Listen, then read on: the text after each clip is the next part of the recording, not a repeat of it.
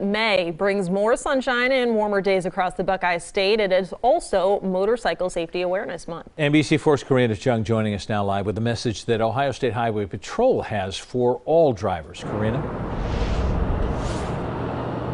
Brad Jen, Lieutenant Nathan Dennis says more drivers need to be more aware and look twice at intersections like this or while merging on the highway. He says this is the time of the year when we start to see more and more motorcycle crashes. Look twice, save a life. That's Pamela Temple's advice to everyone now that many motorcyclists are getting ready to get riding once again. I've had scary situations and it really just pays to be ready.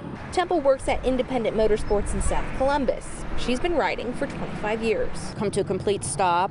That's how I almost got hit. The person stopped and then just kept going through the stop sign and came very close. Lieutenant Nathan Dennis with Ohio State Highway Patrol says in 2021 there were 4,005 crashes involving motorcycles. 215 of those were fatal. So Franklin County actually rates number two for the amount of motorcycle involved crashes on Ohio's roadways. Uh, the first or top county is Cuyahoga County followed by Franklin County. So far in 2022 there have been 332 motorcycle crashes.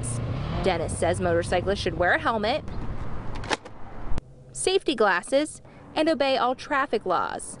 He's urging all drivers to take extra care. As you're approaching intersections, slow down, uh, go through with a little more caution in case one of those vehicles can't see you, and also just use caution on the highways, on the four lane roads, uh, when you're passing other vehicles. It's so easy for a motorcycle to be in your blind spot. So just take an extra second and, you know, look behind you, look in your side mirror, double check.